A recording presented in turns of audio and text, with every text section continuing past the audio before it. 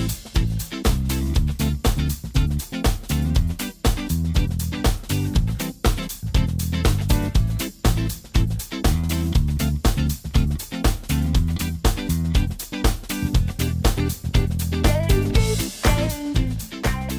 The way we consume and share news today, it is largely rooted in social media outlets, a reason why it's crucial to look at what's being discussed online. From the hottest issues to trends for our daily social media minute, we're joined by Erica in the studio. Good morning, Erica. Good morning. All right, so we do have uh, some buzzwords to get to, but besides the one that we alluded to earlier on the show, I, I think it's worth mentioning that a legend has passed away at the age of 83. That's right. Um, we're talking about the, the passing of the legendary artist uh, Tina Turner, who passed away in her home near Zurich in Switzerland. And her family uh, shared the news not too long ago. And uh, I mean, I, I was on my way here and I, I heard a song being played in my, you know, bus. Yeah. And uh, I heard the teen, uh, a Turner Tina, Tina Turner song, um, and uh, I was like, oh my goodness, I haven't heard that song in a really long time, and you know, And then, and then the I, I guess it was a tribute.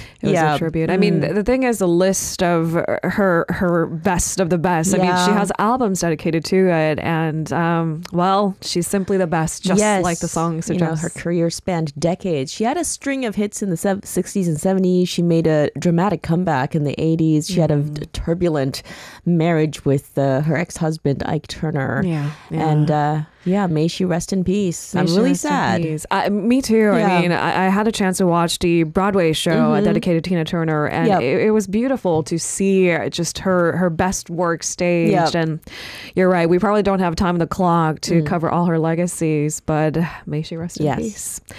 Let's take our attention to uh, another buzzword making headlines in, in cyberspace. I mean, the failure to launch, we've talked about on the headlines. Uh, Nuri got postponed. Yes, that's right. And uh, so many people were disappointed. I mean, there were campers near the site. Yes, I mean hundreds of visitors. You know, they, they had been waiting in the scorching sun from early in the day um, to watch the launch, and uh, they simply could not hide their disappointment when the news of uh, postponement of launch was reported on a, a large screen at around 4 p.m. Uh, visitors, including families with children, like you said, were seen camping out in tents on Goheung Namyeol Beach, which uh, has a fabulous view. It overlooks the the Naro Space Center. Yeah. Uh, they had gathered from all corners of Korea, even from Jeju-do Island. So it was a big occasion. Yes. Um, I mean, people had to set up in in advance, uh, in you know hours in advance Yes. Mm-hmm. to get the prime spot. So you can only imagine the disappointment. That's right. If you've seen some of the interviews, I mean, the kids look distraught. Yeah, and some of the kids were even seen crying as Yeah, well. yeah. yeah. You can only imagine. They're kids after all. Uh, as we mentioned with Adam earlier, the launch was postponed with only hours to go. It was a technical glitch, a software glitch at that, as I was Yeah. found during final preparation. That's right. So, um, over at, uh, you know, in the presidential office, a group of 50 students, uh, you know, aged from elementary through high school, they'd been invited, they'd gathered um, to watch the live broadcast together with the president, his aides, and officials from the Korea Aerospace Research Institute. And after um, the launch was postponed, uh, they were taken on a tour of the presidential office and other rooms where various events uh, and summits with foreign leaders are held. And, you know, the president seemed happy and eager to show the, these kids around, and the kids seemed happy to be there. Yeah. And uh, when the president asked the kids if anyone wanted to hold a mock summit, uh, one very brave student raised their hand asking how he plans to respond if North Korea launches a missile strike. I've got to say, it's a pretty simple but a sophisticated Yes, question. that would not have been me. That would have not have been me either. I think I want to blend more. Probably. yeah, and uh, the president was quoted as saying, We must block it with a firm security cooperation posture between South Korea and the United States. Well, well said, President. President. yes. Anyways, the, the postponement was a disappointment for the kids, but Mm. you know, they had a grand old time. All right. So, I mean, the postponement was disappointment. Yes. But at least the kids got a tour of the And presidential this is not the end. Mm. It's not. We'll have to wait and see what announcements are made this Yep. morning and see if Nuri can launch sooner than Yes. later. On to our second story now. Ballet never gets enough spotlight, ever. but I'm pleasantly surprised to find that whenever there is a high profile uh, ballet company Mm-hmm. or or Swan Lake, any Tchaikovsky, for Yeah. example, tickets sell out. It's interesting, right? Yeah, definitely. um, you know, you, you you say that ballet never gets as much attention as it deserves, but you know, where are those tickets? Uh, yes. Where do they go? Uh, but I mean, maybe it's supply and demand. I mean, they would add more shows Yeah. if there were even True. more in demand. Uh, Yes. it's it's a question of, I mean, it can ballet extend beyond that niche group of people who really really love it, which is why these kinds of festivals seems to be necessary to maybe bring people a little bit closer to ballet and say it's not really that intimidating. It could be fun for anyone. Correct. uh, for ballet fans out there, I have some great news. A series of ballet performances from classical ballet to new original works uh, inspired by Korean literature, and one even inspired by a hit Spanish TV drama series. No. Yeah, all of these are set to be staged throughout the month of June. Is that Money Heist by any chance? Yes, Interesting. it is. How are they going to put that on? Actually, that's fascinating Yeah. because if you think ballet is boring, uh, there are really dramatic productions. Money to Heist might be it. That's right. So um, this is the the thirteenth edition of the Ballet Festival Korea, and this year it's being held under the theme "Face the Times in Ballet."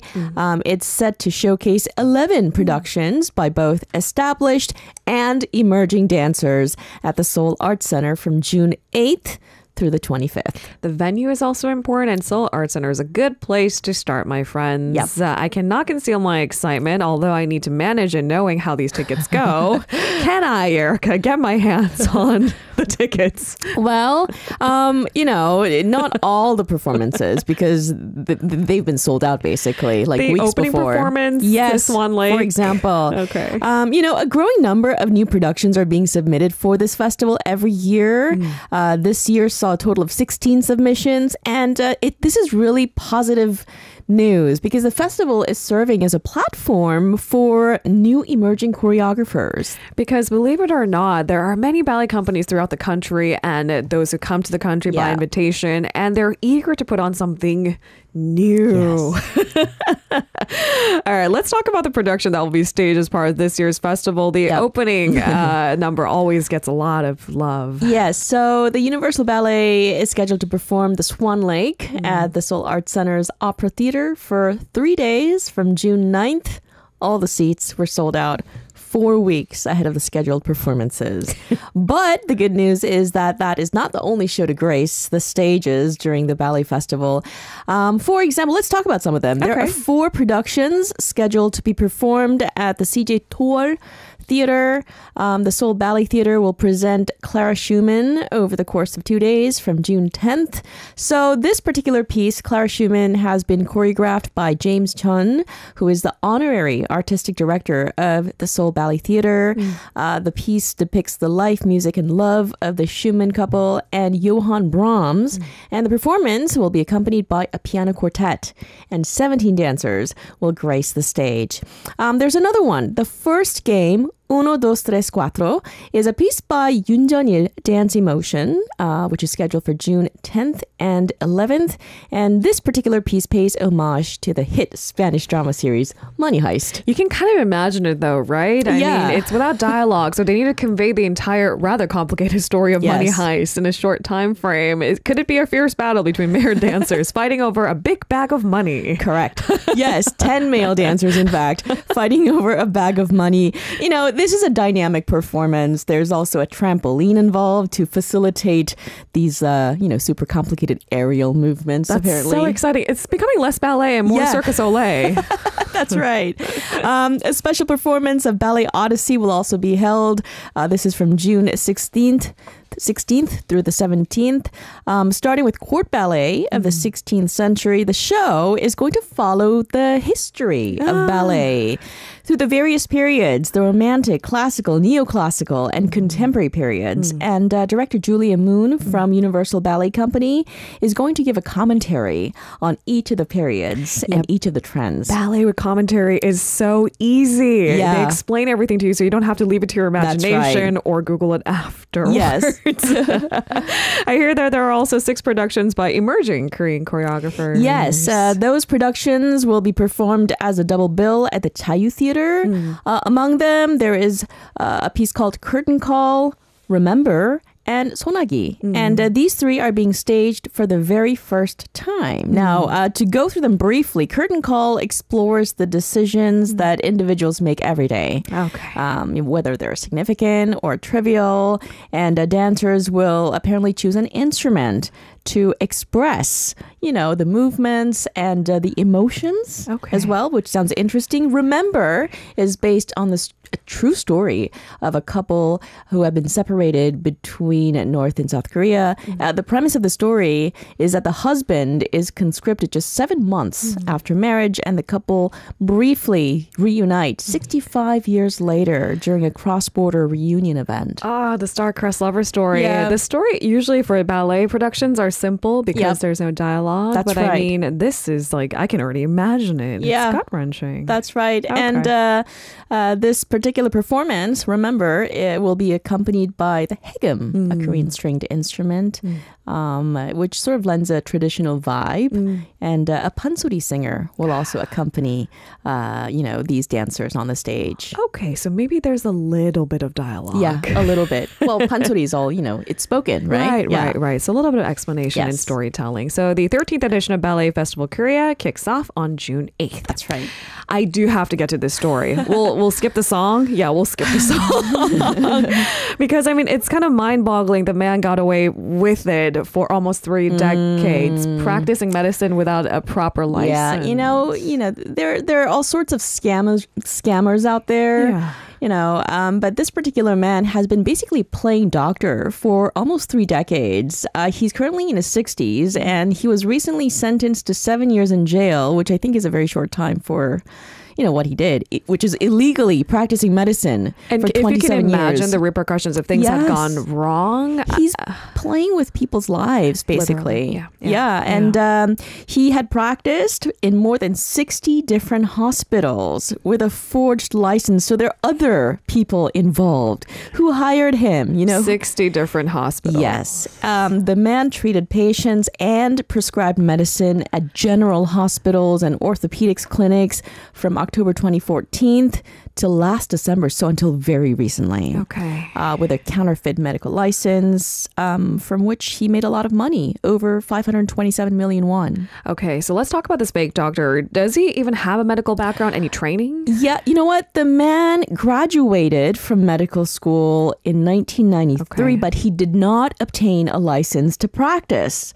Um, he began working as a doctor in 1995 using forged documents. Now, in relation to the case, directors of eight general and private hospitals have also been uh, prosecuted in violation of the Control of Public Health Crimes for hiring without appropriately screening the man's medical license, as well as letting him work without proper registration. Okay, so of course this raises a more fundamental Yeah. question. Why was this fraud overlooked for decades? Yeah, because uh, medical licenses here in Korea are issued by the Ministry of Health and Welfare, which makes it difficult to cross check with organizations such as the Korean Medical Association.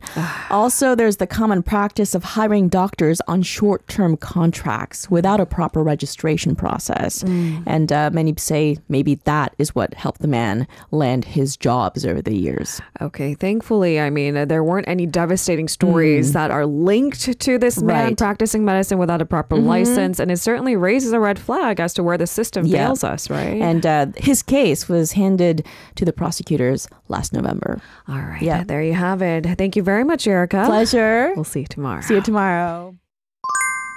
If you're listening to our program using the podcast service, just a reminder that we do go live Monday through Friday, 7 a.m. Korea Standard Time. So tune in and help us make the show more informative by giving us your input. See you bright and early on Good Morning Seoul.